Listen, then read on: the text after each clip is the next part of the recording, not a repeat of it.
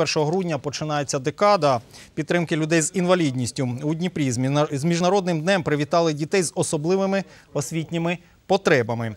Традиційно в рамках святкової акції Діти дітям школяри та педагоги середніх навчальних закладів міста навідалися у гості до учнів загальноосвітньої спеціальної школи номер 90.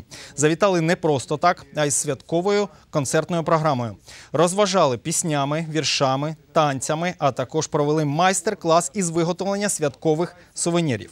На прощання гості вручили новим друзям солодкі подарунки. Е, До е, Дня людей з інвалідністю проходять у всіх загальноосвітніх навчальних закладах такі акції, е, благодійні акції від серця до серця, діти дітям.